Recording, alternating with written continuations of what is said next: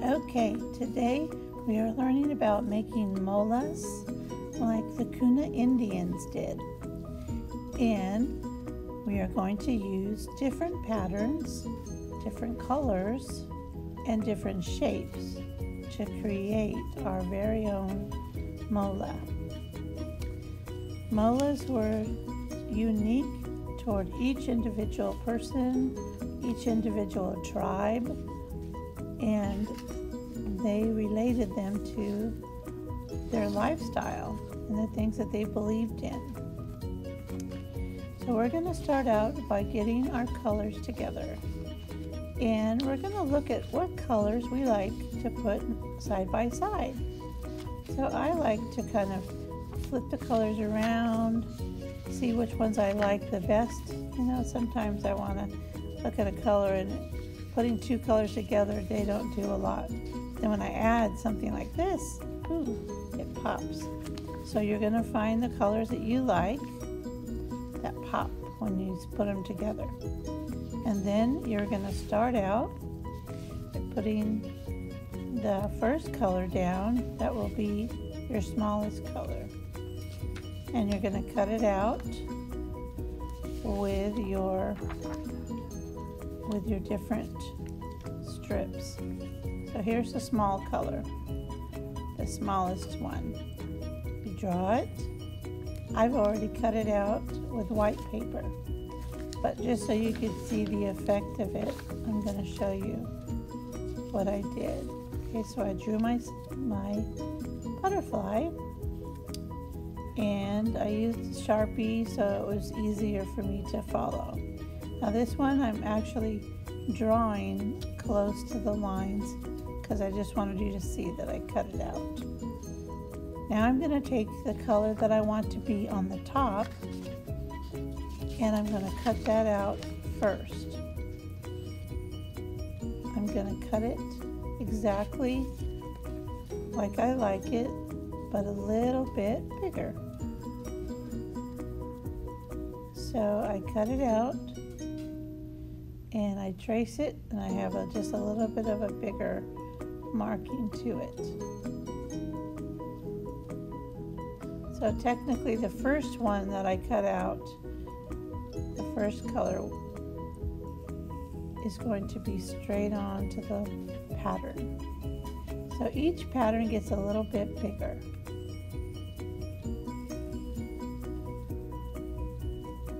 Just make your marks nice and wide.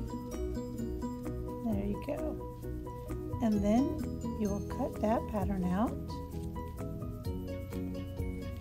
And you will use that as your template for the next color.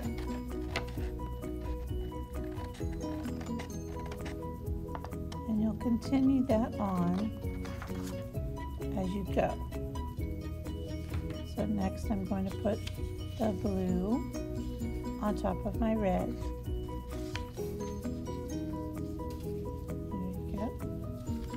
And you notice I always put a little white paper under. That's just so my marker doesn't bleed. That's all that is. So my second color, I am going to color that, trace it just a little bit bigger because I want the outlines to resemble it. So when I put it all together, it will look like a graduated line. It'll be like three colors popping out. If I was to cut these exactly the same shape, then they would just sit on top of each other. We wouldn't really see the color difference. I'm going to cut out that third color that'll be the template for my next one. Now make sure when you're cutting it out that you're not leaving any of the Sharpie. You want to kind of cut to the left side of it because when you put it down on the paper you don't want it to have that Sharpie edge left on there. And lastly we're going to trace our third color which is almost not even going to look like the shape that we started with. You're going to add them all three together and then see how beautiful that looks. Put them all, one's just a little bit bigger than the other. So they make a really pretty pattern together. Next we're going to get some other shapes with some nice bold colors. You have your black paper, which is what they used in the background of most of their molas. And what they like to do was cover every single space because in their beliefs, in their customs, if there was any space left, that's where the evil spirits came in. And that was why they filled it all the way up. But I just like it because it looks beautiful all filled up. It's real pretty together. So you're going to take some shapes. You're going to make some shapes out of your paper by cutting. And if you cut with a fold, fold it in half, you're going to get symmetrical looking lines. So you can have one on one side and one on the other side. Because that's another thing that the mola the molas do is that they represent the one line on one side and then its opposite. And so if you use this method of cutting paper while it's folded and then cut it in half, you will have an exact pattern of what's on the other side. That makes it a lot easier.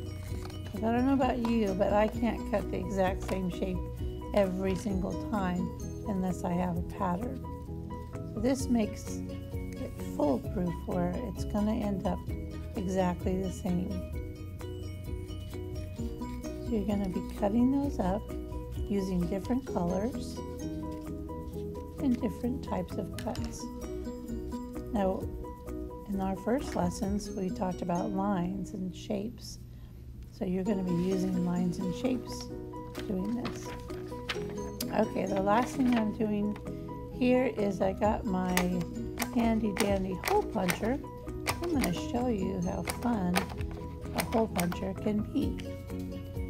It makes perfect circles. And on these kind of pictures, it's fun to have little dots in between just to make the black lines make it stand out, the little color dots. So I'm loading up my hole puncher with all the different colors that I've cut up. And then I will have in my little hole punch catcher all those different colors. And I will put them out so you can see them. I'm going to dump it out there. And there they are. Now I can choose where I put them which makes it a little bit hard after I was touching them there. You have to kind of have moist fingers to get them to stick right. So I'm going to put those to the side. Clear off my paper. And now I'm going to arrange these patterns and things that I've cut out. I had all kinds of different papers. So I'm going to put a base color down, which that red will just kind of be my base color. You can even do that on the bottom squares too. Here I'm making sure that my patterns are symmetrical so that there's exactly the same amount of space on top and the same amount of space on the sides. Then I've cut some some little papers, little lines. A lot of times lines in these molas represent movement. They can be the movement of the air, the movement of water, but that's what they represent. And since butterflies fly in the air, we can say that these lines will represent the movement of the air as the butterfly flies around. So you can start placing your lines and remember that I'm trying to fill in all the spaces I'm not leaving a lot of black left over. So once I have my lines set up there, I'm going to start adding things on the bottom.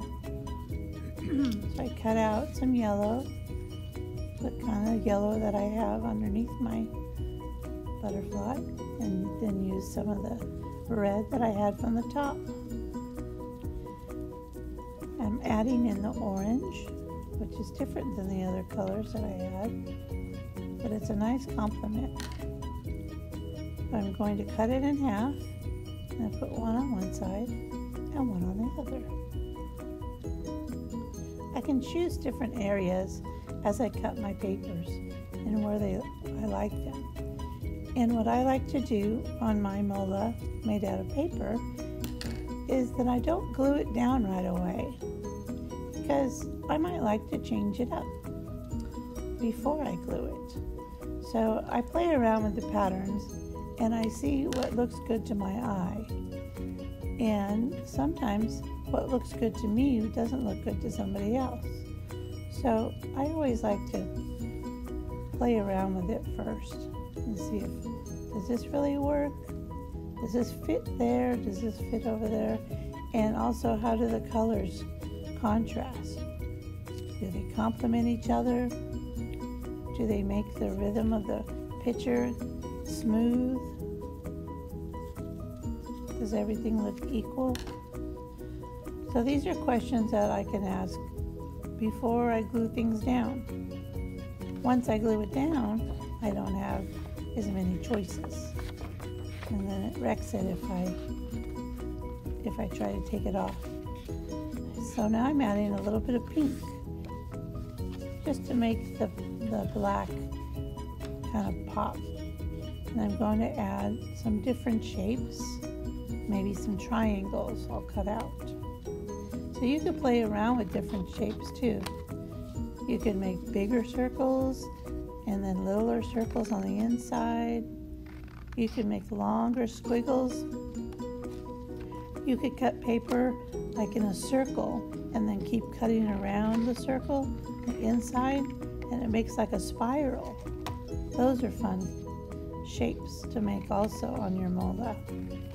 So I want you to try out different shapes. I want you to pick an animal, try out different shapes, and see what you like. And you might even put more than one animal on your mola. If you were choosing more than one animal, then you would make the animal smaller and maybe you would give it more of a, a centered space to the left or centered to the right. So, however you choose to do it, I want you to just use your imagination. It doesn't have to look like mine, but go back to that video and watch, look at the other images that they have in there, the other animal pictures and patterns that the Kuna people have chosen to to make their molas out of, and you you decide how you want it to look.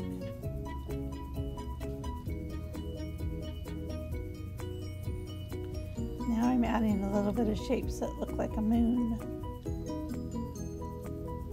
A lot of their pictures and things that they did, they came from nature. So when you're adding your shapes, like I said, sometimes you have to play around with them. I don't know if I like these triangles right there on top of my little butterfly. So I'm going to move it around a little bit. See where I like it Might look good there. Yeah. Butterflies have kind of repeating shapes on the top and on the bottom of their wings. So that's a possibility. I think I like that.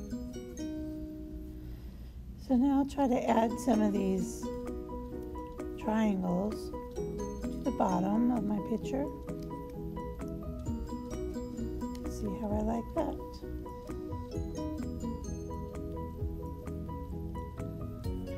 move some more stuff around and add some more stuff here. I'm just going to try to fill up all my paper.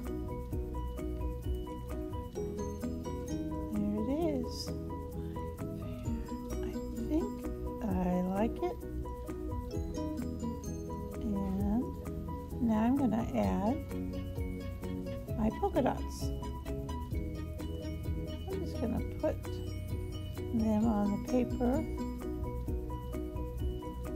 Good to get my fingers a little moist so I could take them off my hand. So you might have try having a damp sponge by your side so you could touch your finger to it and your finger will be moist. And then you could put the dots wherever you think they look good at. And you could alternate the colors depending upon which color it's next to. That's also fun too.